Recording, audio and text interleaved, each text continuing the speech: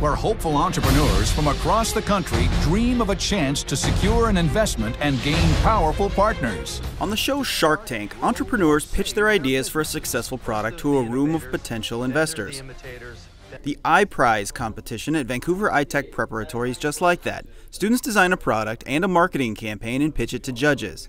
The project began months ago when teacher Ines Kuna had a moment of inspiration while watching Shark Tank. And I thought, well, we're at a STEM school with a lot of kids that want to be engineers, so what better project than to kind of take that popular media and then give that to them and say, let's do something similar. Students then had to find their own bright idea. It took me a while to think of what I was going to make, but then after I did, I realized that it was actually like not as hard as I thought it was going to be. Engineers from Smith-Root Fisheries stopped by teacher Tom Wolverton's classroom to offer advice. Well, somebody did it for me, uh, you know, so it's kind of a payback. I, I did science fair and that sort of thing back when I was in high school and stuff, and so it's just a lot of fun working with the kids.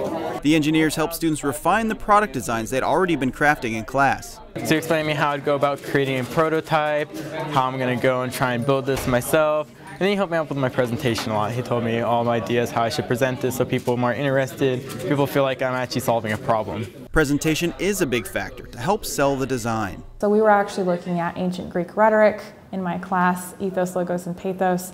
How can you have a sense of credibility, also an emotional appeal, and um, logical, kind of deductive reasoning for why they should invest in your product? Uh, I definitely learned a lot of speaking skills. Uh, I practice my uh, presentation a lot, and so I've definitely found uh, cool ways to just be a better presenter.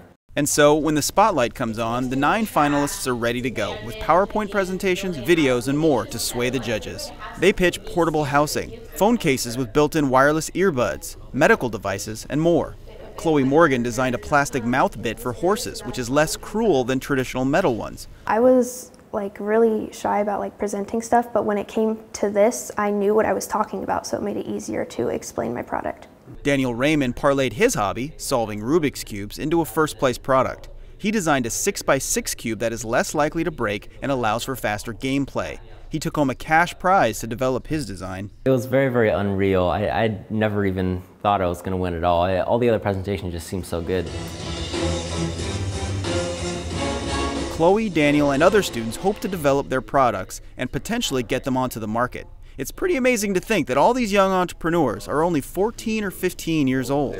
I always have high expectations for them, but um, they always just uh, blow me away every single time. For In the Know, I'm Nick Voll.